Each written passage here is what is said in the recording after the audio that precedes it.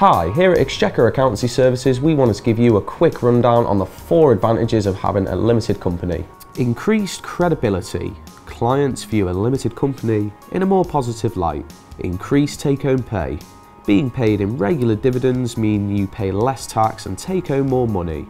Reduced personal risk. A limited company is a separate legal entity from its owners. Better tax planning. You can benefit from tax savings thanks to the various tax planning opportunities available to you. For more information, call our experts on 01244 569 893.